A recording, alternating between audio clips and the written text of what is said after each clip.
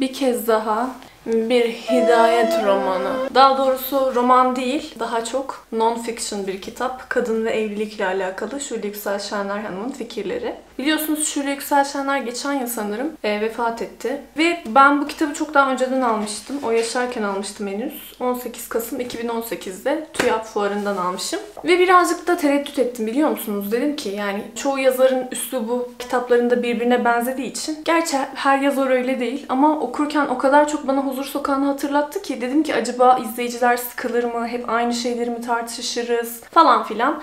E, ama sonuç olarak ilk bir başlayayım. Eğer beğenirseniz devam ederiz. Beğenmezseniz devam etmeyiz diye düşündüm. Çünkü değişik tartışmalar açacak bize yine diye düşünüyorum. Evet, başlayalım. Zaten 2017'de basılmış yani daha yeni bir kitap bu aslında. Ee, ve Timaş yayınlarından çıkmış. Çok ilginç din kitaplığı ailede din eğitimi. Yani e, bu kitapta yazılanların hepsinin din eğitiminin bir parçası olduğunu tasdiklemiş olmuş Timaş yayınları. Oysa ki yani kişisel görüşleri var aslında. Yani İslam'ın bir şey söylemediği konularda da görüşleri var mesela kendisinin. Yani normalde zaten kadın yazarları kolay kolay işte din eğitimi falan tarzı şeylere koymazlar. Baya böyle şeyli olmanız gerekiyor. Şule Yüksel Şenler zaten o kriteri karşılıyor biliyorsunuz Huzur Sokağı'yla. Gençlerde e, yaşattığı değişimlerle, çıkardığı başörtü stiliyle falan. Zaten ya bu kriteri karşılayan nadir kadın yazarlardan bir tanesi kendisi.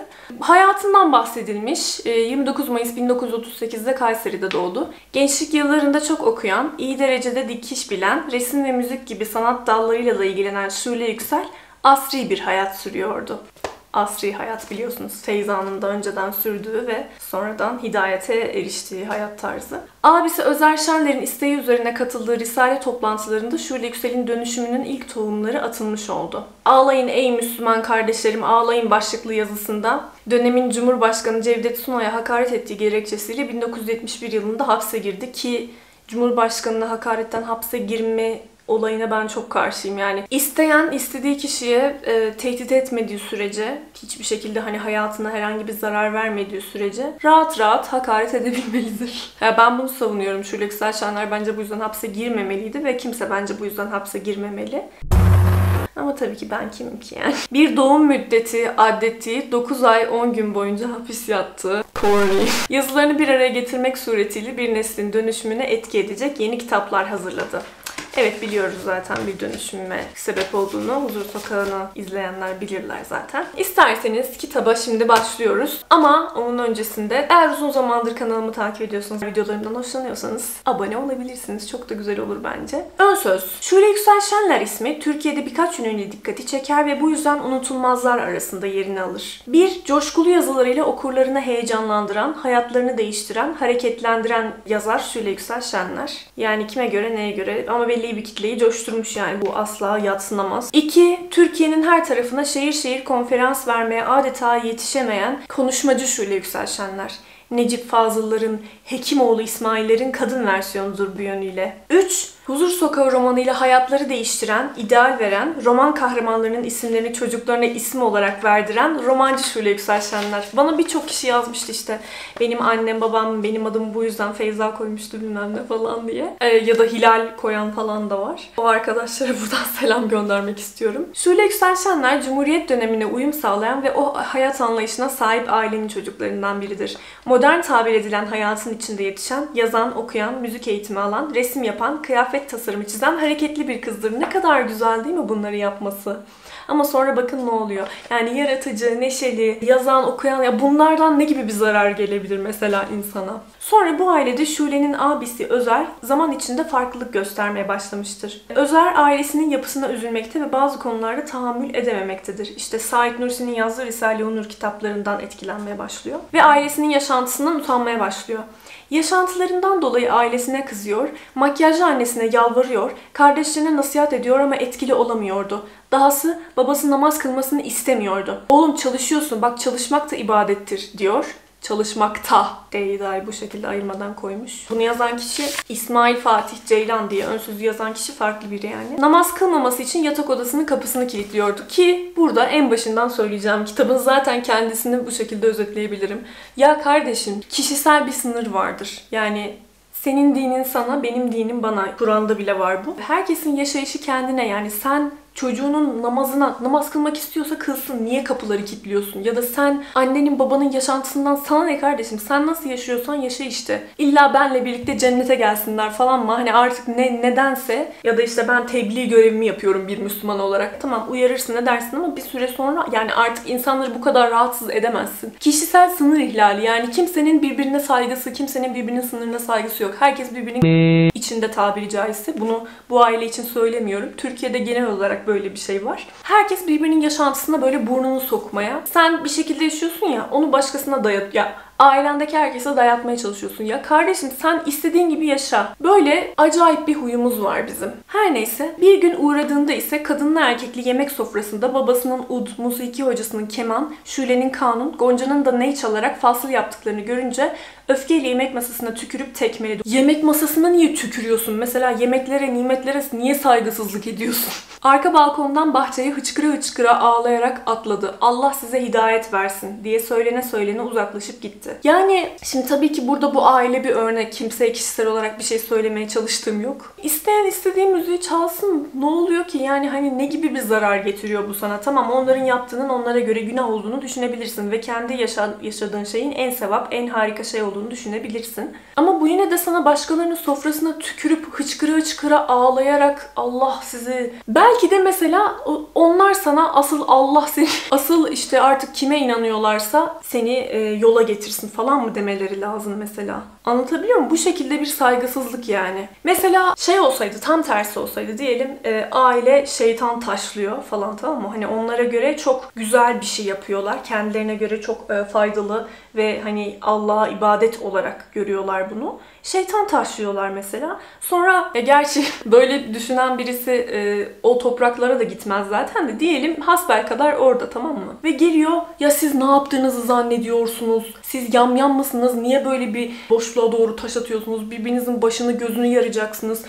Yazıklar olsun size filan deyip tükürmesi mi lazım mesela? Yani nasıl insanlar şeytan taşlamaya saygı duyuyorsa ya bu sadece bir örnek. Ya ut çalsın, neyi çalsın ne olacak yani? Belki de o çok sevdiği bir şey yapıyor yani. Belki de değil zaten sevdiği bir şey yapıyorlar. Kendi hallerinde takılıyor insanlar ve masaya tükürüp gidiyor yani. Hani aslında sınırdan kastettiğim bu. Herkesin birbirine saygısı olsa, sınır net bir şekilde belli olsa Bunlar olmayacak. Ya kardeşim ya Kur'an'da bile söylüyor ya bundan daha açık ve net ne olabilir? Senin dinin sana, benim dinim bana. Şimdi buna şey diyenler olabilecektir. Ya onun orada konteksten ayırıp söylüyorsunuz. Aslında orada onu onlar için söylemiyor falan ama Allah böyle bir şey kutsal bir kitap ya ve burada yazıyor mu? Yazıyor. O zaman sana Allah'la kulun arasında olabilecek bir muhabbete sen bir yere kadar müdahale edebilirsin. Yani eve geldim Şule ve Gonca'ya bir adam müzik dersi veriyor. Şule kanun, Gonca ise ney dersi alıyor. Adam rakı şişesini koymuş önüne. Ben bunu hazmedebilir miyim? Tamam alkol işte yasak mesela İslam'da. Bunu, bu hoşuna gitmemiş olabilir. Ama dediğim gibi yani hani tam o zaman orada yaşama mesela başka bir yerde yaşa ki öyle de yapmış ama neden ailenin yaşantısına saygı duymuyorsun? Ki onlar da ona duymuyormuş. Neden insanlar birbirinin inancına, yaşantısına saygı duymuyor mesela? Bu o kadar kolay bir şey ki aslında. Bir tekme vurdum masaya, öylece çıkıp gittim diye anlattığı bu olaydan sonra Özer Şenler eve dönmedi. Oysa Şenler ailesi o dönemde mazbut aile bile sayılırdı. Mazbut. Çoğu aile daha ileri boyuttaydı ve ülke batılılaşma, ileri medeniyete ulaşma adına Osmanlı'dan ve dini hayat biçiminden uzaklaşma, geçmişi unutma dönemi yaşıyor. Devletin memurları ve öğretmenler aracılığıyla bu yeni yaşam tarzı yaygınlaştırılıyordu. Danslar, balolar, açık kıyafetler, sinema, tiyatro, müzik, modern ve ilerici hayatın vazgeçilmez araçlarıydı. Bu bu arada sadece Türkiye'de olan bir şey değil. Mesela 1800'lü yıllarda Victoria İngiltere'sinde de kısa etek yani aslında mini etek çok uzun tarihi olan bir şey değil. 1900'lü yıllarda gelmiş mini etek. Yani aslında Türkiye ile birlikte bütün dünya öyle bir değişim yaşıyordu. Kısa etek giyen insanlara aa falan diye bakılıyordu çünkü hiç kimse kısa etek giymiyordu. Hiç kimse mini etek giymiyordu. Uzun etekler giymek, mazbut olmak zaten e, dünyada yaygın bir kültürdü. Şey dışında mesela atıyorum e, Afrika kabileleri, ne bileyim sıcak ülkeler dışında bütün dünyada zaten 1700'lü 1800'lü yıllarda insanlar uzun uzun kıyafetler giyiyorlardı. Mini etek sonradan gelen bir şey ama bunu sadece Türkiye'de Atatürk geldi ve herkesin zorla götünü açtı. Şekilde lanse etmeye o kadar bayılıyorlar ki oysa ki öyle bir şey yok. Yani Türkiye ile birlikte dünyanın da dönüştüğü bir dönem aslında o dönemler. Neyse bir de zaten ya şunu da düşünüyorum aslında. Şule Yüksel Şenler olmasa başka birisi ol- olacaktı muhtemelen. Daha böyle ılımlı bir e, başörtü tarzı getiren ve bunu e, modernize eden insanlar arasında, kadınlar arasında yaygınlaştıran. Çünkü Osmanlı, evet Osmanlı'dan çıkıyor insanlar. Yani köylü insanlar, halk köylü. Bir tek sarayda modaya falan uyuluyor. Ülkenin çoğu böyle fakir halk yani ve çarşaf marşaf giyiyorlar. Tamam üst makamdaki kadınlar da çarşaf giyiyorlar ama e, onların haremiyle, onların haremlerinde yaptıkları şeylerle köylü kadının yaptığı şeyler, inandığı şeyler çok farklı aslında. Yani köylü kadın aslında dinine dair bile çok bir şey bilmiyor. Ve çarşaf giy deniliyor ve giyiyor. O yüzden bu insanların bir mentore, bir böyle yol göstericiye, rehbere ihtiyaçları vardı bu konuda. Hani nasıl giyineceğiz falan gibisinden. Ben mesela babaannemle dedemin fotoğraflarına baktığımda babaannem başörtüsünü böyle tavşan kulağı şeklinde ta- takıyor. Benim babaannem 1930'larda doğmuş bir kadın. Ve eteği mesela bileğine kadar. Ya da işte dizinin birazcık altında. Neden? Çünkü insanlar yani nasıl giyineceklerini de tam kestiremiyorlar. Tamam İslami yaşayacağız ama İslami şartlara uygun olarak nasıl kapanılır onu bile bilmiyorlar. Çünkü hani hepimiz saraylardan, haremlerden falan gelmediğimiz için köylü halk işte hani neresini ne kadar kapatacağını bile bilmiyor. O yüzden insanların bir mentora ihtiyaçları vardı ve bu şöyle yüksel şenler olmasa başka biri olacaktı. İnsanları şöyle kapanacaksın, böyle kapanacaksın, kalın çoraplar giyeceksin, başını şöyle örteceksin diye mutlaka birisi zaten yönlendirecekti ve kadınlar şey yapacaklardı yani. Tamam çarşaf da değil ama benim babaannemin anlattığı giyinme şekli de değil. Onun arasını mutlaka bulacaklardı yani kadınlar. Yani maalesef diyesim geliyor benim çünkü ya be- benim şahsi fikrim bu arada ya kimse yanlış anlamasın. Yani kelimelerimi çok dikkat ederek seçmek zorunda hissediyorum kendimi. Ama benim şahsi fikrim tamam e, kadınlar mesela izleyicilerim de vardır. Başörtüsü takmaktan hiçbir rahatsızlık duymayan, bununla çok gurur duyan, kendini daha rahat hisseden başörtülüyken ya da kendini daha mutlu hisseden insanlar vardır. Ben buna hiçbir zaman karşı değilim. Başörtüsü senin seçimin ve bununla mutlusun. Ben buna bir şey demiyorum ama ben başörtüsünün fikir olarak ya bu her dinde böyle bir tek İslam için söylemiyorum. Kadınların vücutlarının her tarafını kapatmalarının e, dayatılmasının şey olduğunu düşünüyorum. Kadınları böyle kontrol altında tutma durumuyla çok yakından alakalı olduğunu düşünüyorum. Yani kadınları daha kolay kontrol etme, kadınları böyle bir fanusun içine sıkıştırıp o şekilde tutabilmenin bir yolu olduğunu düşünüyorum. Çünkü bunun hiçbir zaman sonu gelmiyor. Başını kapatırsın, A bileğin gözüküyor. Bileğini kapatırsın. A e, götünden kilodunun çizgisi görünüyor. Orayı kapatırsın. A el bileklerin görünüyor. Orayı kapatırsın. A şuradan saçın çıkmış. Orayı kapatırsın. A buradan boynun gözüküyor. Orayı kapatırsın. A şuradan saçların ucu gözüküyor. Hani hiçbir şekilde yaranamıyorsun. İnsanlar sana başörtüyü kafana taktığın zaman senin üzerinde bir tahakküm kurabileceklerine inanıyorlar. Buna en seküler, en özgürlükçü takılan, e, en ben çok modernim diyen insanlar da dahil. Sen başını kapatınca hemen sana akıl verme isteği geliyor. Bak şuran kapalı değil, bak buran kapalı değil. Aa nasıl gülüyorsun sesli bir şekilde, aa nasıl şunu yapıyorsun, bunu yapıyorsun, senin dinin şunu emretmiyor muydu falan filan gibi. O yüzden ben bu kapatma fikrinin e, kadınları kontrol etmenin bir yolu olduğunu düşünüyorum.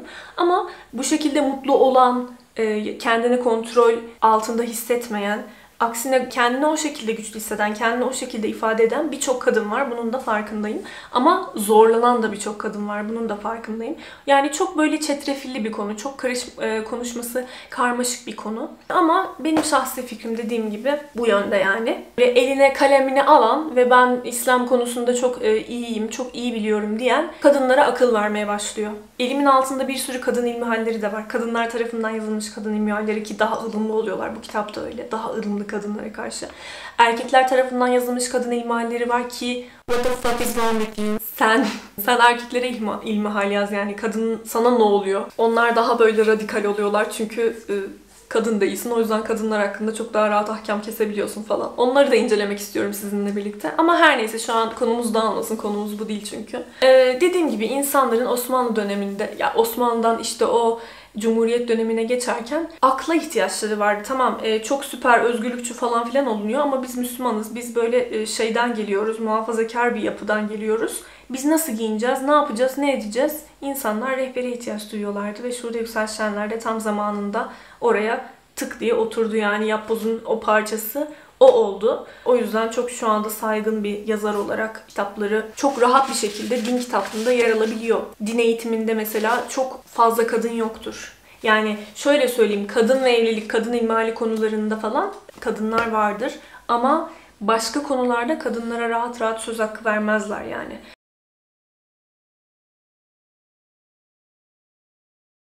Her neyse. Bazıları gönüllü isteyerek, bazıları da eğer bu yeni düzene uyulmazsa işten atılmaktan, gözden düşmekten korkarak ayak uyduruyor. Hatta kimileri gözden düşmemek ve laf yememek adına komik durumlara bile düşüyordu.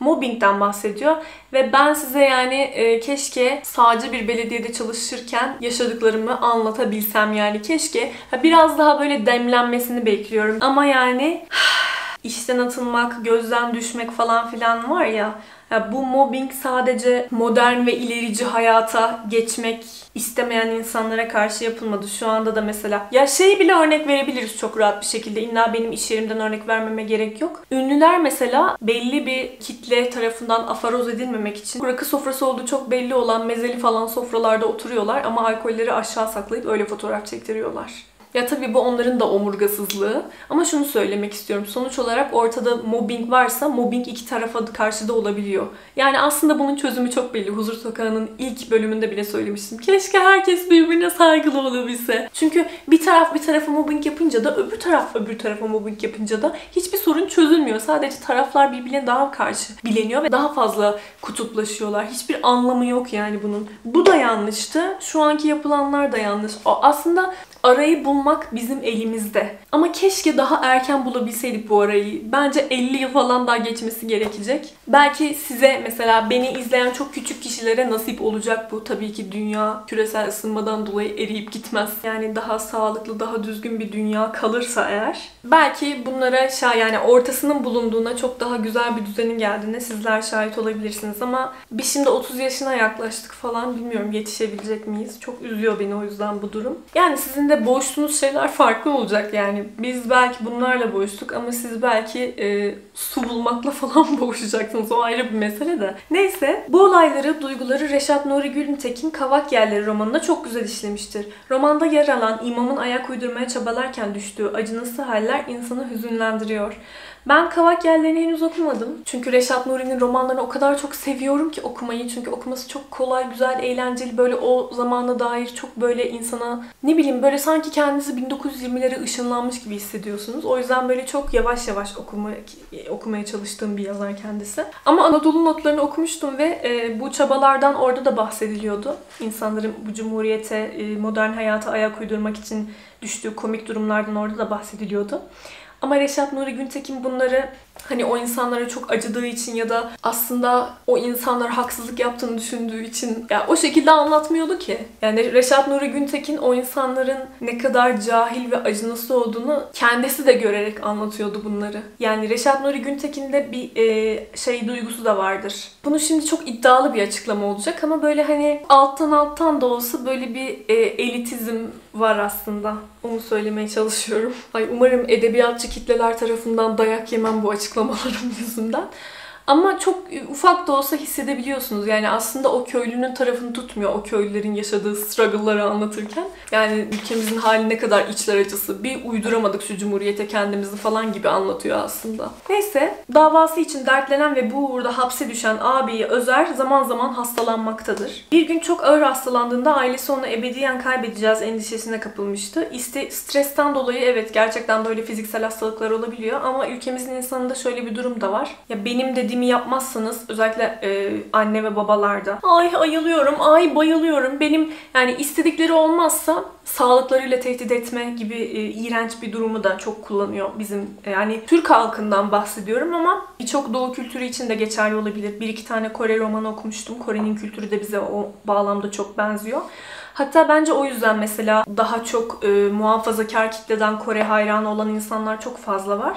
Çünkü onların kültüründeki o bağnazlık bizim e, kültürümüzdeki bağnazlığa çok benzeyen taraflar var. Çok böyle kendimizi onlara o yüzden yakın hissediyor olabiliriz. Neyse isteği olup olmadığını soran etrafında pervane gibi dönen kardeşi Şule'ye bana öyle geliyor ki sen örtünürsen bütün kadınlar senin peşinden gelecek. Yeter ki sen örtün. Hamallık yapar sana yine dünyanın en güzel en pahalı eşarbı neredeyse alırım dedi. Ugh. Bunu mesela muhafazakar ailelerde babalar çok yapar. Ben çok şahit oldum işte Başını örtmene gerek yok ama başını örtmezsen şöyle yapmam. Başını ya psikolojik baskı, duygusal şiddete giriyor. Başını örtersen iPhone alırım. Başını örtmezsen şöyle olur. Başını örtersen örtmezsen seninle konuşma falan gibi. Duygu sömürüsü yaparak artık bir şeylere razı etmeye çalışma var. Yani o da aslında isteye kendi istediği ya falan filan olmuyor. Sonradan öyle anlatırlar ya öyle bir şey değil işte. Senden son bir isteğim var. Risale-i Nur sohbetlerine katılmandır. Şöyle bunu abinin son arzusu görerek kabul etti. İlk başta o sohbetteki kadınları, kadınlar da uzun tırnaklı, başı yarı örtülü Şule'yi yadırgasa da birbirlerine alıştılar. E karşılıklı birbirini yadır, yadırgıyorlar ama sonradan birbirine alışıyorlar. Bak seni uzun tırnaklı falan filan görmüşler ama sonra sana alışmışlar ama sonra sen uzun tırnaklı, mini etekli, zartlı zurtlu kadınları Huzur Sokağı kitabında sokmuşsun yani. Bunu da anlamış değilim aslında. Kısa zamanda Özer'in istediği gibi bir kardeş oldu. Çevresindeki kızlardan sohbet halkaları oluşturdu. Dersler verdi. Dediğim gibi insanların rehbere ihtiyacı vardı. Bu şeylere zaten meyilli olan insanlar Dolayısıyla katıldılar bu rehber gördükleri kişiye. E, kendisinin tasarladığı başörtüsü çok dikkat çekiyor. Şule baş diye anılan türban genç kızlarca rağbet görüyordu. O dönemde birdenbire mantolu ve türbanlı gençler görünür olmuştu. Az önce de bahsetmiştim. İnsanlar nasıl giyinmeleri gerektiğini bilmiyorlardı. O zamanlar hazır tekstil bile yokmuş doğru düzgün. Herkes kumaşını alıp kendi diktiriyormuş mesela terzilerde kıyafetlerini. O yüzden aslında birazcık Şule Yükselşenlere moda tasarımcısı bile diyebiliriz. Çünkü cidden kıyafet çiziyor, başörtü çiziyor, tasarlıyor yani hani aslında. Ya çok sinirlendiriyor beni. Yani kendisi çok özgür bir hayat yaşıyor. Moda tasarımcılığı bile yapıyor. Ama Huzur Sokağı'nda dayattığı, mesela Feyza'ya dayattığı hayatta Feyza'nın dışarı çıkması bile şey. Yasak gibi böyle. Çok o kadar imanlı ki Feyza e, dışarı çıkmadan böyle birisi getir götür yapıyor. O evde kendi evden çalışıyor. Yani kendisi bu kadar özgür bir şekilde yaşarken mentorluk ettiği kadınlara tavsiye ettiği şeylerin çok farklı olması beni çok öfkelendiriyor gerçekten. Bir de mesela dayağın yani kadınların dayak yemesinin herhangi bir sorun olmadığını savunuyor ama sonra şiddet gördüğü için kocasından boşanıyor falan. Müslüman kadınlar için makul gördüğü, Müslüman kadınlara reva gördüğü hayatla kendi yaşadığı hayat çok farklı. Bu çok ikili bir yaşam oluyor aslında. O dönemde birdenbire mantolu ve türbanlı gençler görünür olmuş. Bu koşuşturmaların arasında bir yönetmenin isteği üzerine Huzur Sokağı adında bir senaryo yazdı. Senaryoyu okuyan gazete sahibi Mehmet Şevket Eygi bunun roman olarak yazılması gerektiğini söyledi. Ancak konferans istekleri o kadar çoktu ki yazı yazmaya zor vakit buluyordu. Mehmet Şevket Eygi, Şuri Yükselşenler'den habersiz Huzur Sokağı romanı yakında başlıyor diye gazeteden anons edince, radyolarda reklam yapıp afişler asınca bir kelime bile yazmamış olan Şule Yükselşenler bu emrivaki karşısında gün gün romanı yazıp gazeteye göndermek zorunda kaldı. Aslında buradan da çok net bir şekilde görüyoruz ki ya ben işte o bazı belgeseller var işte masonluk, işte şöyle bir örgüttü, böyle bir ajandı falan filan değil ama e, burada çok hani öyle kesinlikle o şekilde komplo teorilerine girmeyeceğim. Kimisi inanır, kimisi inanmaz. Ben yani sizin bileceğiniz iş o. Ama mesela burada görüyoruz ki Huzur Sokağı yazarın kendisi böyle kafasında oluşan ve ben böyle bir senaryo yazayım, gün gün gazeteye göndereyim ve bunları toparlayıp roman yapayım dediği bir şey değil. Bir proje yani. Bu projeyi Mehmet Şevket Eygi başlatmış. Biraz da emrivaki yapmış hatta. Sen böyle bir şey yaparsın biz de toparlayıp romana çeviririz işte falan gibi. Yani zaten hazırmış taslağı aslında. Yapılacak olan şey hazırmış. Şule Yüksel Şenler sadece her gün bu projeye yazı göndermiş ve bu projenin sonrasında bitip roman haline gelmesine e, ön ayak olmuş aslında. Hani bunlar bir projedir, önceden yapılmış şeyler falan filan demeyeceğim. Ama çok net bir şekilde beraber bir taslak hazırlamışlar, proje hazırlamışlar. Sonra o projeyi tamamlayıp bitirip insanların beğenisini sunmuşlar yani. Huzur Sokağı romanı olağanüstü ilgi gördü. Açık kızla dindar erkeğin aşkını ve açık kızın dindar oluşunu anlatan bu roman okuyanlar üzerinde derin etkiler bıraktı. Bu arada şu açık, kapalı, sanki böyle bir dolapmışız gibi e, bir tabir var ya, bundan da hiç hoşlanmıyorum. Nasıl bir tabir olması gerektiğini bile bilmiyorum. Şimdi normal desem başörtülüler anormal mi? Huzur Sokağı romanıyla Türkiye'de en çok okunan roman olmakla kalmıyorlar, adeta yeni bir toplumu inşa ediyorlardı. E kendilerine bunu söylüyorlar açık bir şekilde zaten. Toplum inşası yani bu şekilde bir proje e, üretilmiş. Çarşaf da değil ama cumhuriyet kadar e, seküler de olmamalı. Arada bir yerde ılımlı bir şey olmalı. Bu ılımlılıkta çoğu kadının işine geldiği için yani çarşaftansa ılımlılık daha çok kadının işine geldiği için tabii ki herkes seve seve bunun bir parçası olmuş yani ve bu şekilde bir toplum inşa edilmiş. Binlerce hayatın değişmesine katkıda bulundu e, yazar. O O dönemlerde yazdıklarında büyük şikayetler, sistemler vardır. Kızların okuması, kadınlara değer verilmesi konularında yazdıkları bugün çoğunlukla gerçekleşmiş durumda. Dindar müesseseler, vakıflar, okullar dindar kızların rahatça yer alabileceği noktaya geldi. Ben şu anda öyle olduğunu düşünmüyorum. Hatta şu anda başörtüsü yaşının ilkokula kadar inmesiyle bu, bu durumun çok suistimali açık hale geldiğinin ve kızların özgürlüğünün çok erken yaşta ellerinden alındığını düşünüyorum. Çünkü onlara bir seçme şansı verilmiyor. Etkilediği insanların etkili yerlere gelmesiyle bir zamanlar rüya gibi gördüğü emelleri gerçekleşti. Yetiştirdiği, etkilediği, hayatını değiştirdiği, yol gösterdiği insanlar bugün devleti yönetiyorlar. Süper olmuştu. Tebrik ediyoruz. Çeşitli makamlarda, önemli mevkilerde. Um, neyse. Türkiye'nin bugün geldiği noktada Şule Yüksel Şenler'in çok büyük emeği vardır. Sağ ol.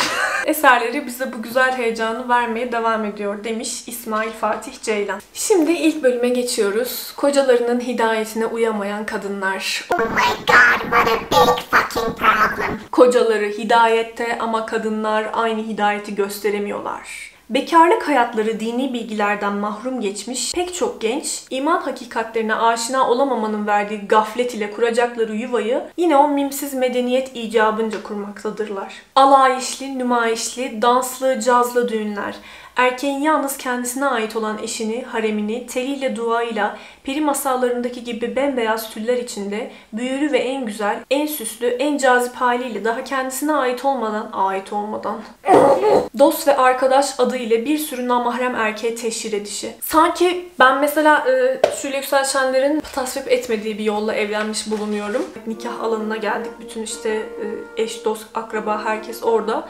Sanki böyle Fatih bütün akrabaya, eşe dosta karşı benim böyle götümü açtı. ya öyle bir anlatıyor ki. Normal gelinlik giydim. O da damatlık giydi. İşte nikahımız kıyıldı falan filan yani. Hani neyse. Sonra Maa ile görüşmeler. Ya kendisi şimdi çok sinirleneceğim ama kendisi bu gibi şeyleri daha önceden yaşadığı için ya belki bu aile ona neşe mutluluk vermemiş ama kendi seçimi bu. Kendi ailesinde müzik çalınıyormuş, dans ediliyormuş, resim çiziliyormuş her türlü şey yapılıyormuş yani. Hani belki bunlardan kendisi gurur duymuyordu sonradan ama bu onun kendi seçimi. Ama insanlara öyle bir şey dayatıyor ki ya sen mesela istediğin gibi yaşadın. Sen öyle oldun diye, sen öyle yaşamayı sonradan hidayeti buldun ve öyle yaşamayı seçtin diye insanlar kadınla erkekle birbirleriyle görüşemeyecekler ya böyle toplum yaşantısına, insanın sosyalliğine uygun değil. Ya insanların böyle yaşamasını bekliyor, böyle yaşamalarını istiyor. Sırf kendisi öyle yaşıyor artık diye. Erkekli kadınlı toplantılar, geziler.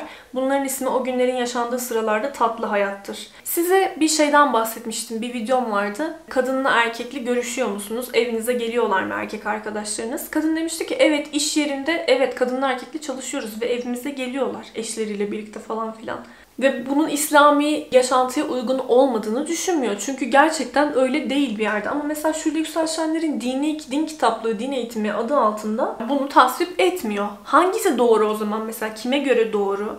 Bazı insanlara göre e, hiçbir problem yok. Mesela Hazreti Hatice, Hazreti Ayşe'nin hayatın içinde insanlar olmaları buna en büyük örnek olarak gösterilebilir değil mi? Ama mesela Şule Yüksel Şenler'e göre bu İslam'a uygun değil. O zaman hangi İslam? Hangi İslam daha uygun? Bunun nasıl kararını verecek insanlar? Çünkü her kafadan bir ses çıkıyor değil mi? Bir de inşa ettiği şeyin şu an ne kadar ucubik bir hale geldiğini görse herhalde böyle kahrından ölürdü yani. Çünkü insanlar şey yapıyor ya. Kızımın diş buğdayı falan filan diye gelinlik giyiyor. Bu böyle kendi başörtü stiliyle, kendi yaşantı stiliyle inşa ettiği toplumun kadınları çocuğumun kırkı çıktı, mevlüt yapayım, düğün yapayım. işte çocuğumun sünneti oldu, gelinlik giyeyim bilmem ne falan diye öyle enteresan, öyle değişik şekillerde partiler ve eğlenceler düzenliyorlar ki yani görse herhalde gerçekten çıldırırdı. Çünkü bu şekilde e, onun önerdiği şekilde yaşamak insanın doğasına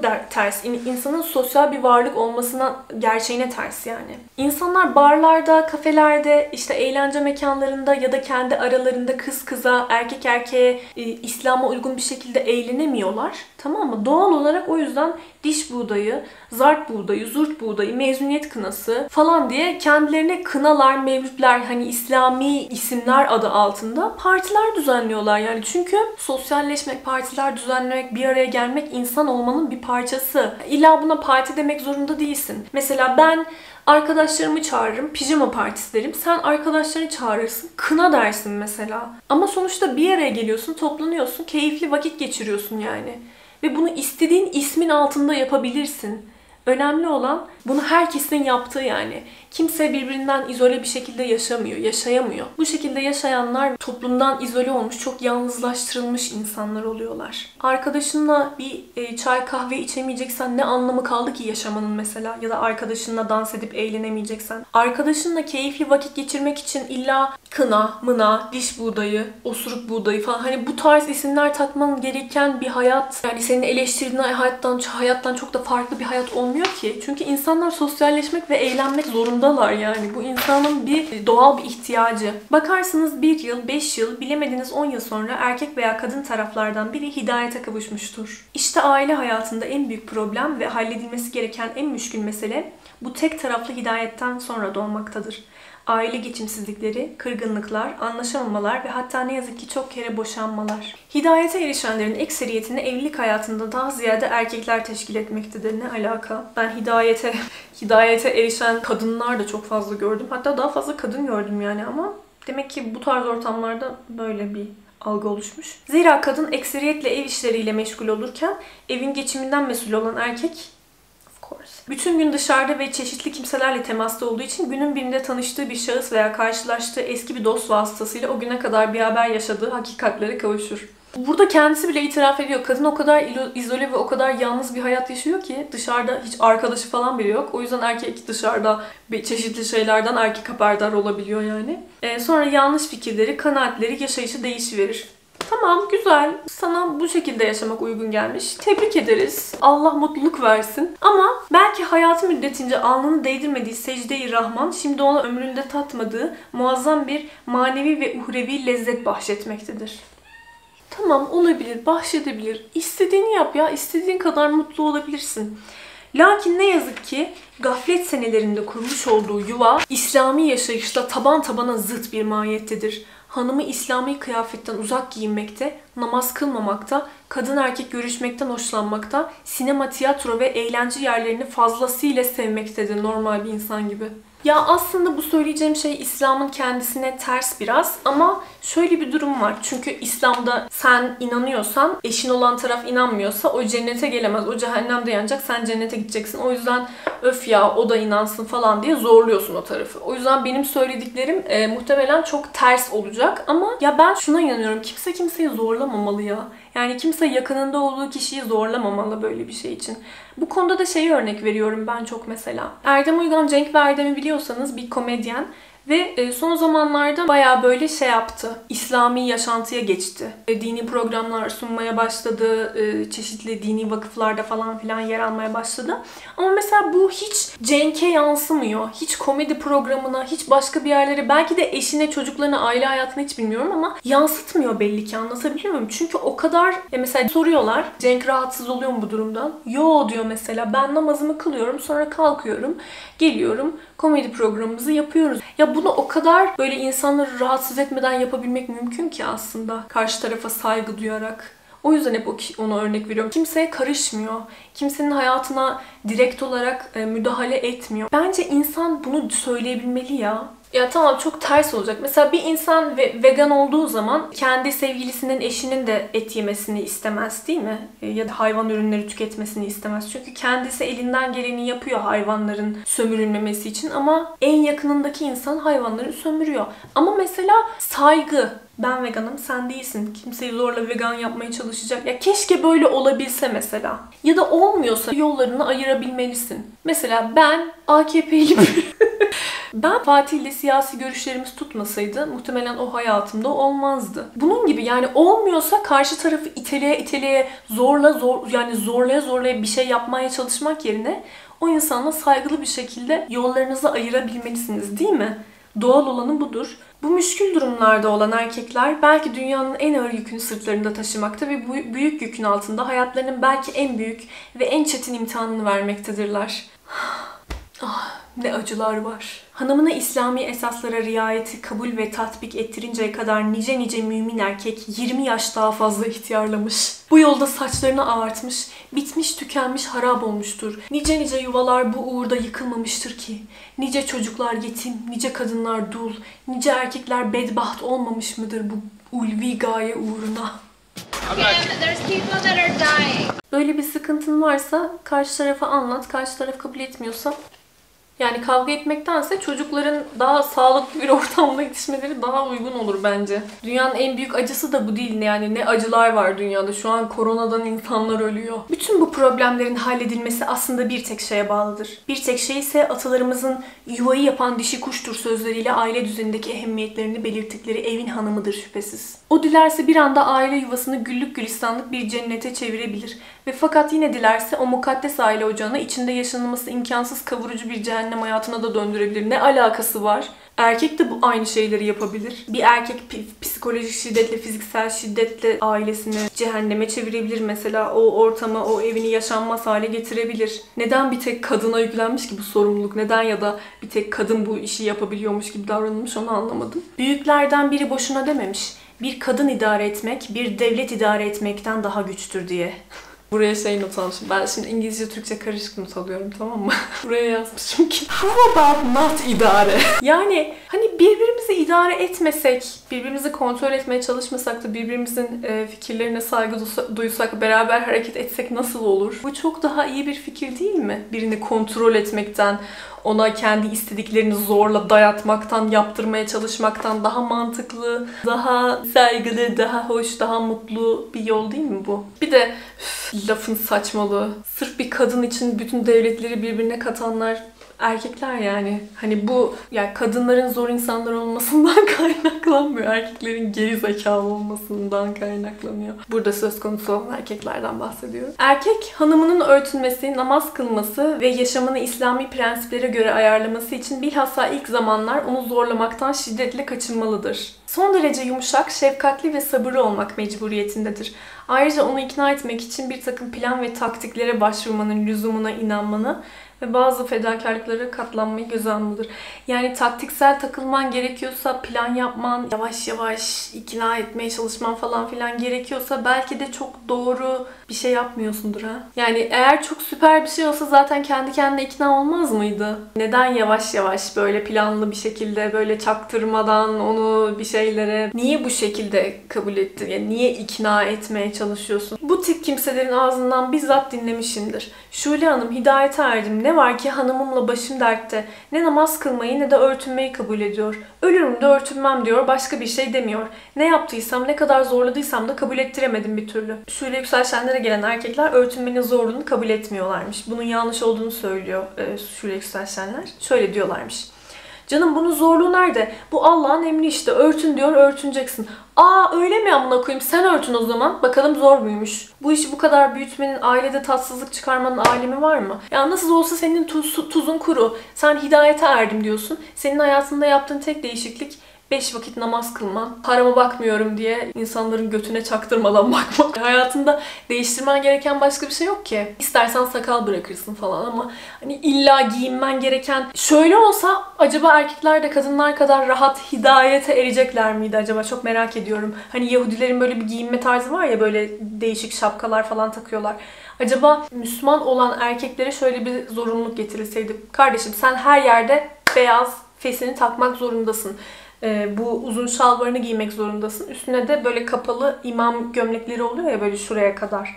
Onlardan giymek zorundasın. Acaba erkekler de o kadar kolay Müslüman olur muydu o zaman? Ya da erkekler de aman canım ya ne olacak ki falan diye kıyafetlerini değiştirirler miydi? Ya çünkü kıyafet değiştirmek, ya dış görünüşünü değiştirmek bunların zannettiği kadar kolay bir şey. Bu arada erkeklere böyle bir şart tabii ki gelmez. Çünkü kontrol edilmesi gereken kadınlar ya o yüzden erkeklere zaten böyle bir şart gel- gelmez. Şey diyecektim. Erkeklere de böyle bir şart gelseydi acaba değişik değişik kıyafetler olur muydu? Değişik renkli fesler falan filan olur muydu da zaten zaten öyle bir şey gelmezdi onlara yani o yüzden boşuna hayal etmeye bile gerek yok. Çünkü kontrol edilmesi gereken kişiler erkekler değil kadınlar olduğu için erkekler kolay kolay bu konuda ahkam kesebiliyorlar yani. Aman örtün canım başını ört ne olacak? Yani sen acaba bir yere giderken yani dinini her zaman e, vücudunun bir yerinde taşıman gerekseydi acaba bunun sorumluluğunun, yükünün altında ezilmenin nasıl bir duygu olduğunu kadın kadar iyi bilebilseydin acaba bu kadar rahat ahkam kesebilir miydin yani? Anlamıyorlar işte yani eminim bu empati bugüne kadar kurulmamıştır. Yani yüzde bir falandır kurulma oranı. Acaba böyle düşündüler mi hiç? Yo takarım falan diyen çıkar mı? Yoksa "Ee, yani yapmasak mı ee" falan filan diye yan çizenler olur mu? Tabii ki olacaktır. Bir de acaba mesela erkeklere şey derler miydi? Takkeni düzgün takamamışsın işte saçının şurası gözüküyor. Kafanın tepesinin gözükmemesi gerekiyor. Yok işte şalvarından kilodun gözüküyor. Gömleğinden e, boynun gözüküyor falan diye acaba erkekleri de darlarlar mıydı? Hiç zannetmiyorum çünkü erkek zaten kontrol edilecek bir cinsiyet olarak görülmediği için dinlerde. Bir de şey gafletten bahsetmiş sürekli. Gaflet günleri. Ya eskiden ben gaflet içindeydim falan. E, bana bu da çok büyük bir kibir gibi geliyor. Yani İslam'dan önceki ya da işte daha iyi bir Müslüman olmadan önceki günlerini gaflet. Aman tanrım ben nasıl bir uyku uyuyormuşum ya Rabbi falan böyle o halini o zamanki halini aşağılamak, küçümsemek de bana çok itici geliyor. İşte artık gaflet günlerini geçmiş ve şimdi onun bütün gayesi Allah'ın emirlerine uygun bir İslami hayat yaşamaktır. Lakin bu nasıl mümkün olacaktır? Evvelce alışılmış ve artık yerine getirilmesi zaruri vecibeler haline gelmiş bulunan bir sürü icaplar vardır. Bu burada saydığı şeylerin büyük bir kısmı Müslüman olan insanlar bu sayılan şeyleri yapabilirler yani bunda hiçbir günah, hiçbir sakınca yok ki. Haftada bir iki kere sinema, tiyatro. Zaman zaman da olsa akraba, tanıdık ve eş dostun salonunda yapılan cazı dansı, düğün, nişan merasimleri. Ailece yapılacak olan ve kadınla erkekle oturulan aile ziyaretleri. Arada bir değişiklik olması düşüncesiyle gidilen çalgılı gazino eğlenceleri. Yaz aylarında gidilen plajlar, bazen 15 günlük bir aylık yaz tatili dolayısıyla yaşadıkları kamp hayatı, yılbaşında adet olan eğlenceler. Bunların çoğunu zaten Müslüman aileler de yapıyor. Ve hiçbir şekilde hani dinlerine aykırı olduğunu düşünmüyorlar bu durumun. Ama eğlenceli olan, insanın zevk aldığı, keyif aldığı her şeyi saymış yani. Hiçbir şey yapmayacaksın. Sadece böyle oturacaksın. Simpsons da şey diyordu ya hani peder. Marş diyordu ki işte bu günah mı? Ee, peder de diyordu ki yani sen İncil'i açıp daha önce okudun mu? Yani İncil'e göre bizim tuvalete gitmemiz bile günah diyordu. Hani öyle bir hale getiriyorlar ki dini. Sıçman bile günah gibi geliyor insana. Çünkü o kadar normal şeyleri yasaklamaya çalışıyorlar ki kendi kafalarına göre. Ya sinemaya gitmenin ne gibi bir sıkıntısı olabilir İslam'la ya? Açık saçık filmler mi izleyeceksin? Yani gerçekten anlamıyorum. Çocukların doğum günü partileri vesaire vesaire.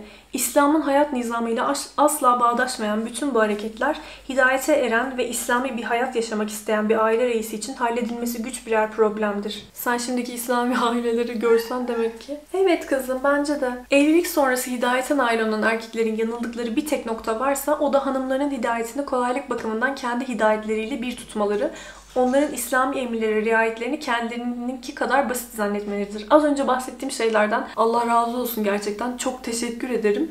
E, bütün yükü kadınlara yani bütün yükün kadınlarda olduğunu burada itiraf etmiş aslında kendisi söylemiş.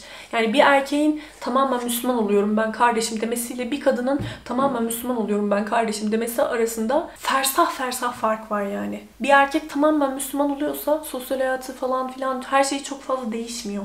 Ama bir kadın tamamen Müslüman oldum diyorsa yürümesi bile günah oluyor neredeyse ya. Her şey günah. Yani şu şekilde otursa ben mesela şu şekilde oturuyorum ya. Bu mesela İslami bir oturuş tarzı değil bir kadın için en basitinden. Neyse Halbuki hakikat işte erkeklerin zannettikleri gibi değildir. İslami hayat ve giyim tarzını kabul etmek hanımlar için zannedildiği kadar kolay olmamaktadır. Bu konuda empati kurabilmiş çünkü kendisi de bu yollardan geçtiği için muhtemelen yani zor kabul ettiği için ne kadar zor bir şey olduğunu biliyor. Keşke her şeyi bu kadar ya her şey hakkında bu kadar kolay empati kurabilseydi.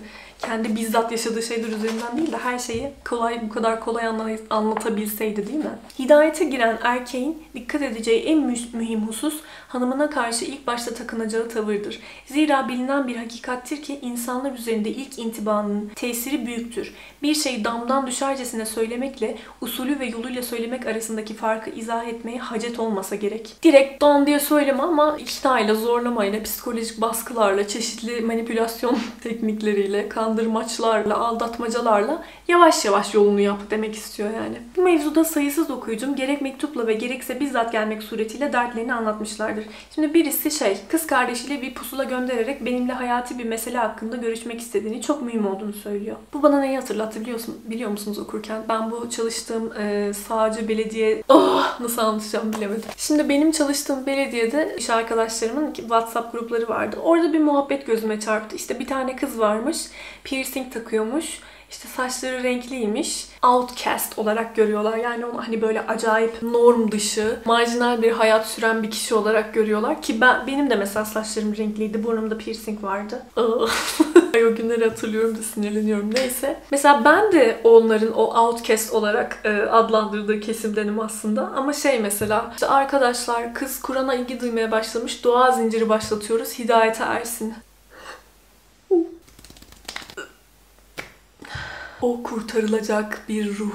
Bizim onu doğa zinciriyle kurtarmamız gerekiyor.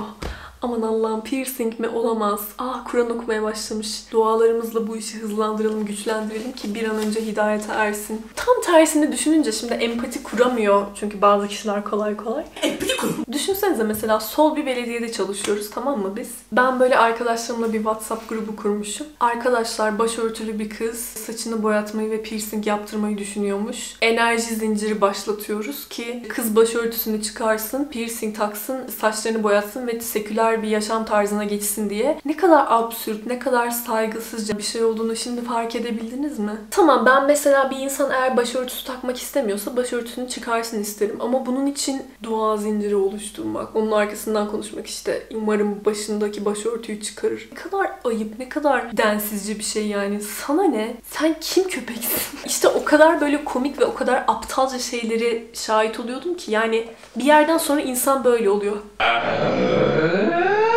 Yani hiçbir şey söyleyemiyorsun. Ben onlara hiçbir şey söylemedim. Çünkü ben kendi başıma bu organize geri zekalılıkla mücadele edemedim yani. Bu adam Şule Yüksel Şenler'le görüşmek istiyor. İşte ben plajda tanıştım. Çok güzel bir genç kızı severek onunla evlendim. Okey. Okuduğu İslami ve imani eserler, tanışmış olduğu nur yüzlü imanlı arkadaşlar arasında almış olduğu ulvi zevki artık hiçbir hidayete eriyor kısacası. Bu arada e, size bir araştırma linki veriyorum. İnsanlar e, travmatik olaylardan sonra dine ya da işte bu tarz soyut şeylere yönelebiliyorlarmış. Yani mesela hayatında bir kırılma noktası oluyor. Herhangi bir şey oluyor ve inançların tamamen değişiyor. O, o şeyin o şeyde huzur buluyorsun. O şey senin konfor alanın oluyor ve artık o şeyin içine girince kendini rahat ve huzurlu hissediyorsun. Alta bir araştırma linki koyacağım. Yorumu size bırakıyorum. Neyse, yıllarca evvel plajda tanışarak evlendiği genç ve güzel hanımı bütün gayret ve denemelerine rağmen ne namaz kılmayı ne de örtünmeyi ve hülasa olarak ne de İslami bir hayat yaşamayı asla kabul etmemekte. Ya sana ne etmez? gayret ve deneme diyor da kendin bu yola girdin diye yanındaki insanı da bu yola sokmak zorunda değilsin ki ya da o insan bunu kabul etmiyorsa şey diyor. Bu hususlarda hırçınlık göstermektedir. Hırçınlık göstermek ne ya? Sanki böyle bir yola girmek zorunda da seninle. Birkaç kere plaja gitmemizi istedi. Götürmedim. Ve bunun dinimizce çok büyük bir günah olduğunu öğrendiğimi, bundan böyle kendisine el alemin gözleri önünde teşhir edemeyeceğimi, dinimizin emri ve yuvamızın selameti namına tam Müslüman hanım kıyafetine girmesi, yani örtünmesi icap ettiğini söyledim. Teessüf ederim. Demek beni o başı örtülü mahalle kadınlarıyla bir tutuyorsun. Huzur sokağı vibes. Ölürüm de o basit kılığa girmem. Ben böyle açık ve serbest yaşamaya alışmışım bir kere. Sen de beni böyle görüp beğenerek evlendin. Şimdi kalkmış başımı hoca kesiliyorsun. Acaba gerçekten böyle mi dedi? Neyse. Nihayet başa çıkamayacağımı anlayınca kendisini annesinin yanına gönderdim ve kesin olarak boşanmaya karar verdim. Annesinin yanına göndermek. Bu terimden de nefret ediyorum bu arada. Boşanmaya karar vererek doğru şeyi yapmışsın. Yani çok açık bir şekilde belli ki görüş, hayat görüşleriniz farklı artık. Uyuşmuyor. Artık farklı yollara gitmenizin vakti gelmiş yani. Tam tersi olsa, adam Hristiyan olsa, kadını da Hristiyan etmeye çalışsa bunu böyle bir mağduriyet, aman Allah'ım ben, ben nasıl bir cehennemin içine düştüm. Ya da işte vegan olsa ve eşini de vegan o ya. Hep veganlıktan örnek veriyorum da şu aralar vejetaryen falan olmayı düşünüyorum. O yüzden hep oradan örnek veriyorum. Yoksa çok radikal bir şey olduğunu düşündüğüm için değil. E, herhangi bir inanca, herhangi bir inanışa falan girecek. Eşini de zorla o yola sokmaya çalışsa, başka bir inanç olsa oh my god eşim korkunç biri beni Hristiyan yapmaya çalışıyor falan ama İslam olduğu için boşanmasını böyle dünyanın en büyük yıkımı olarak görüyorlar. Sonra sizin talebe birliği salonundaki konferansınızı dinledim. Sizi henüz tanımıyordum fakat bulunduğum sokağa doğru yürüyünce gözlerime inanamadım. Siz yaşlı bir kadın değildiniz.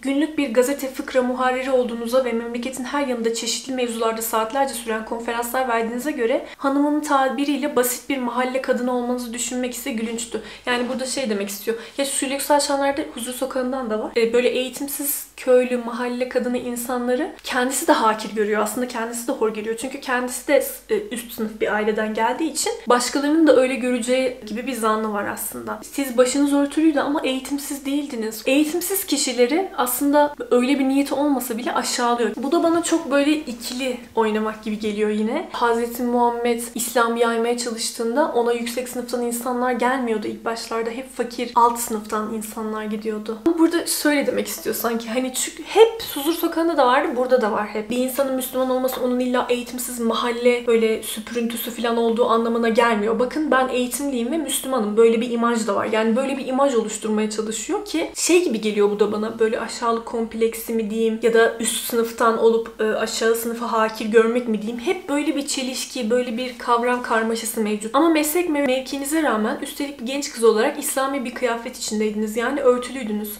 Sonra birden arkanızdan büyük bir insan seli boşandı. Bu genç kızların ve hanımların hepsi sizin gibi giyinmişti. Hepsinin üzerinde birer pardösü, ayaklarında kalın çoraplar ve başlarında desen desen renk renk örtüler vardı. Bunların çoğunun yüzlerinden ve zevkli giyinişlerinden kültürlü ve münevver hanımlar genç kızlar oldukları belli oluyordu. Yani kültürlü ve münevver olmasalar aşağılayacaktım ama bayağı kültürlü falan gözüktüler gözüme. Yüzlerinden yani bayağı bakımlı, üst sınıftan filan insanlar olduklarını gördüm. Birden tekrar ellerimi yüzüme kapattım. Ne olurdu? Ne olurdu benim hanımım da bu nur yüzlü, pak örtülü hanımların arasında bulunsa ve onlar gibi olsaydı? Sonra Şule Yükselşenler içinden şey diyor. İster istemez aklıma abim geldi. Zavallı abim bizim hidayetimiz için yıllar yılı çalışmış, dedinmişti de nihayet neden sonra arzusuna nail. Neyse kendisine boşanma fikrinden şimdilik vazgeçmesini, anlayış ve sabır içinde ürkütmeyecek çeşitli taktiklere başvurulduğu takdirde bir gün gelip hanımının iman ve tatbikat bakımından kendisini dahi geçebileceğini söyledim. Sonra işte bir konferanstan dönüyor. Dönüşümden iki gün sonra ille de hanımımdan boşanacağım diyen genç adam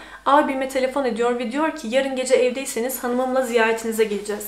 Ertesi gece genç adam bir odada pederimle birlikte otururken biz de hanımıyla misafir salonunda samimi bir sohbete dalmış bulunuyorduk. E dışarıda görüştünüz e, kadın erkek. Eve girince mi haremlik selamlık oldu yani? Çok saçma değil mi ya? Dışarıda hiçbir sorun yok. Hani konferans ya tamam çok modern bir ortam. Sen konferansı veren kadınsın. O da konferansı alan adam. Bu şekilde görüşebiliyorsunuz ama içeri girince sanki her şey değişiyor. Herkesin ayrı ayrı odalarda bulunması gerekiyor. Kadın en çok 30-32 yaşlarında gösteriyordu. Uzun boyu ve sarı saçlarıyla tipik bir İngiliz'i yahut Alman'ı andırmaktaydı. Çok güzel bir kadın olduğu kadar tatlı ve sempatik haliyle de insanın üzerinde müspet bir tesir bırakıyordu. Konuşmamız arasında şöyle bir itirafta bulundu. Buraya gelirken bir aile çekinmiş ve tereddüt etmiş. O beni karşısında yerlere kadar uzun bir kıyafet içinde başım boynum büyük örtülerle kaplı olarak bulacağını ve açıklığından dolayı kendisine yüz göstermeyeceğimi zannetmiş. Fakat ev kıyafetimin hiç de öyle tahayyül ettiği gibi olmadığını görünce bir ayrı şaşırdığını da sözlerine ekliyor. Ve şöyle soruyor. Yani ev içinde kapalı gezme mecburiyeti yok mu? Katiyen diye cevap veriyorum kendisine. Ya burada işte inşa etmeye çalıştığı şeyi daha net görebilirsiniz. Ilımlı İslam yani. Evin içinde örtülü gezmek dinen çok makbul bir keyfiyettir. Ancak bu bir takva işidir. Yani takva ne kadarına müsaade ediyorsa. Geçen videolarda bahsetmiştim. Ya cennetin 5. katında mı yoluyum? 3. katında neyse ya. Bu durum yani giriş katı da yeter bana falan. Şeyini seçiyor sanki. İslami büyüklüğünü falan seçiyor. Çok saçma değil mi? Yani bir, bir şey ya günahtır ya sevaptır. İçinde bulunduğumuz şu dehşetli devirisi takvadan ziyade farzlara ehemmiyet verilmesi icap eden bir devirdir. Ne alaka? Devirden devire değişiliyor mu? Yani takvalı gün yani günah sevap devirden devire değişiyor mu? Çünkü Kur'an'a çok şey diyebiliyorum, ters bir şey diyebiliyorum. Kur'an'ın evrensel olarak ele, ele alınması gerekiyor, tarihsel olarak ele alınmaması gerekiyor diyebiliyorum. İşte ılımlı yani evde açık giyinebilirsin. istediğin kadar açıl, saçıl, umurumda bile makyaj bile yapabilirsin falan gibi. Hatta hele evli kadınların evleri içinde kocalarına karşı açık giyinmeleri, süslenmeleri, saçına güzel şekiller vermeleri bir nevi şarttır. Ne? Yüce Peygamberimiz kızı Hazreti Fatıma'yı evlendirirken ona kocasının karşısında en güzel ve ca- cazip kıyafetlerle bulunmasını, gözlerini sürmelemesini ve kocasına en meshedici nazarlarla bakmasını nas- nasihat etmiştir. Bir baba neden kızına böyle neden bir baba neden Neyse. Sonra şey diyor işte burada muvaffak olmuştum. Hani bu bunu kabul ettirmeyi başarmıştım. Şimdi dış kıyafeti kabul ettirmek meselesi kalıyordu ki bunda da ustalıklı bir taktik kullanmak. Yani taktik kullanman gerekiyorsa belki de yaptığın şey çok da doğru değildir. Nasıl olur diyordu. Öyle kozmopolit bir semtte oturuyor ve öylesine asri bir hayata alışmış bulunuyorum ki imkanı yok öyle basit mahalle kadınları gibi örtünemem. Fakat örtünmediğim takdirde de biliyorum ki yuvam yıkılacak. Ne yapacağımı şaşırdım. Eğer yuvanın yıkılması senin örtü yani kendi vücudunla ilgili alacağın bir karara bağlıysa çok da sağlam bir yuva değildir belki ha. Örtünmek sizin zannettiğiniz gibi kadını basitleştirmez. Bilakis asilleştirir canım kardeşim diyor Şule Yükselşenler'de. Hem pekala kapalı olarak da zarif bir şık kıyafetinizi muhafaza edebilirsiniz. Neyse sonra eşarplarından birini getiriyor. İşte kadının başını örtüyor. Genç kadının esasen güzel olan yüzü bu haliyle melek sima bir güzellik ve masumiyet kazanmıştı. Sonra ilave etti. Peki ya pardösü, çorap? Onlar nasıl olacak? Çorabın kalın olması icap ettiğini. Bu arada kalın çorap olayını anlamıyorum. Çünkü benim başörtülü arkadaşlarım hep ten çorap giyiyorlardı ayakkabılarının altına. Herhalde kalın çoraptan kastettiği ten olmaması. Çünkü tenin de ayağı gösterdiği için günah olması mı artık ne bilmiyorum. Ama şimdi çok daha ılımlı hale geldi kıyafetler. Pardesünün e, beğendiğimiz en zarif ve şık biçimlerde diktirilebileceğini, yalnız bedene sıkı sıkıya oturmaması ve boynun da en az diz kapaklarını 1-2 santim aşması icap ettiğini söyledim. Şu anda diz kapağını geçmesi değil de şu baldırın aşağısını geçince pardesüler oluyor. Yani hatta tunik bile giyiyorlar üst, üstlerine. Ki ben bunda yanlış bir şey olduğunu söylemiyorum kesinlikle. Ama şu Leksan yani kapalılık şartlarının bu şekilde olduğunu söylüyor. Ama şu anki Şule Güzel Şenler'in inşa ettiği kapalılığın üzerine daha ılımlı şeyler eklendi. Çünkü dediğim gibi yani hani insanın doğasında olmayan az önce bahsettim ya parti mutlaka olacak, sosyalleşme mutlaka olacak. İnsanın doğasında olmayan şeyler olduğu için yani günler geçtikçe değişiyor ve bir şeylere daha çok müsamaha gösterilir hale geliyor. Genç kadın giderken Şule Hanım gerek bu eşarpların yapılış ve dikilişleri gerekse kıyafetin tamamlayıcıları olan pardesü, çorap vesaire hususunda bana yardımcı olmanız için sizi tekrar rahatsız edeceğim demiş. Umacıdan korkar gibi örtüden korkan bu asri kadının hem de çok kısa bir zamanda üstelik benimseyerek kapanmaya karar verdiğini hayret ve sevinçle müşahede etmekte ve tevfik sahibi Rabbime hamdü senaya bulunmaktaydım. Ne var ki sonra haber alamıyor. Nihayet bir gün beyi çıkıp geldi. Görünüşünden eskisinden de beter bedbin ve bedbah olduğu anlaşılıyordu. Bunun sebebini sordum. Evet, bence burada bırakalım. Bir dahaki bölüme öğrenelim bakalım o neler olacak. Bakalım beyi neden e, çok bedbaht bir hale gelmiş. Oysa ki işte başörtünün moda tasarımcılık kısmını falan kotarmıştı Şule Yükselşenler. Her şeye ikna etmişti ama kadın ikna olmamışa benziyor. Çok merak ediyorsunuz biliyorum ama bugünlük hikayemizi bitiriyorum. Vay be kitaplar ne kadar ucuzmuş. 17 liraya almışım 2 yıl önce. Şu an bu kitap 25 filandır herhalde. Bakacağım ha. Her şey çok pahalandı ya. Neyse bugünlük bu kadar. İzlediğiniz için çok çok teşekkür ediyorum. Meryem çok az video atıyorsun. Çok az video atıyorsun. Bak aralarını açtın bilmem ne falan filan. Lütfen, lütfen. Yaz gelmişti. Birazcık gevşemiştim. Artık e, yeni bir sezona başlıyoruz beraber. Süper olacak. Podcast'e de başlayacağım. Çok heyecanlıyım her şey için. Bu arada takılarımı merak edenler varsa alta linklerini koyacağım. Takipçilerim sizler ufak tefek bana hediyeler yolluyorsunuz ve benim çok hoşuma gidiyor. Bazen videolarımda takıp ediyorum ama her zaman alta koyuyorum. Merak edenler alttan bakabilirler. Görüşmek üzere.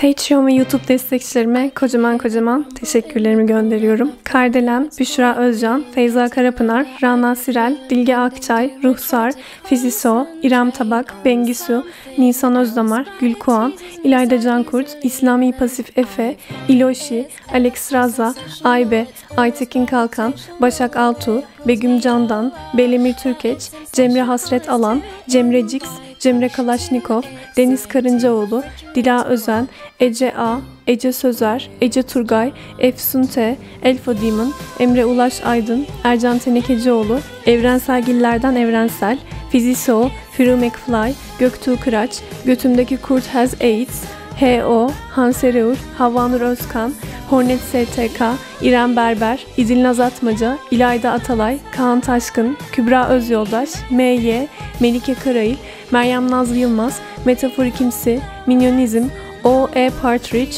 Oiko Fuge, Patlar Üssü Kereker, P. Queen, Seda Nur Kütük, Sena Çiftçi, Songena, Soytarix, Süleyman Akbulut, Sıla K, Tahir Alp, Tomris Hatun, Tuğba K, Ufuk Güngör, Yağız G, Zeynep, Zeynep Özgegül ve özel zehirli bırtlarım Tarih Obası ve Can Sungur ve Yakın Evren. Hepinizi çok çok öpüyorum. Kendinize çok iyi bakın. Hoşçakalın. To my hips. Refrigerator to Bridget Nil.